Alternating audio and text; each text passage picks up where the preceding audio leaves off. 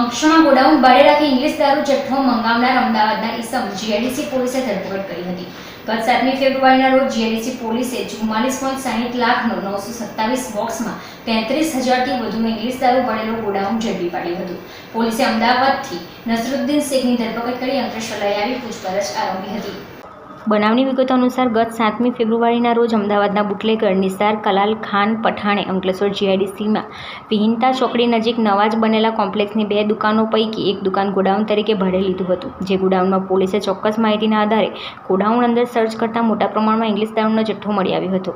GIDC પોલીસે ગોડાઉનમાંથી રૂપિયા ચુમ્માલીસ પોઈન્ટ સાહીઠ લાખ ઉપરાંતનો ઇંગ્લિશ દારૂનો નવસો સત્તાવીસ બોક્સમાં રહેલી તેત્રીસ હજારથી વધુ નંગ બોટલ જપ્ત કરી હતી અને વિદેશી શરાબના વેચાણ અર્થે ગોડાઉન ભાડે રાખી વિદેશી શરાબ સંતાડનાર અમદાવાદ નરોલી રોડ હજારો રો હાઉસ ખાતે રહેતા નિસાર કલાલ ખાન પઠાને વોન્ટેડ જાહેર કર્યો હતો, જે ગુનામાં જીઆઈડીસી પોલીસે તપાસ કરતા પોલીસે અમદાવાદના અલ કમલ સોસાયટી વિભાગ બે રોયલ અકબર પાસે વેજલપુર અમદાવાદ ખાતે રહેતા નસરુદ્દીન કમરુદ્દીન શેખની ધરપકડ કરી અંકલેશ્વર લઈ આવી હતી અને ઇંગ્લિશ દારૂના ગુનામાં વોન્ટેડ એવા નિષ્ઠાર કલાલ પઠાણ અંગેની પૂછપરછ આરંભી રિમાન્ડ માટે અંકલેશ્વર કોર્ટમાં રજૂ કર્યો હતો.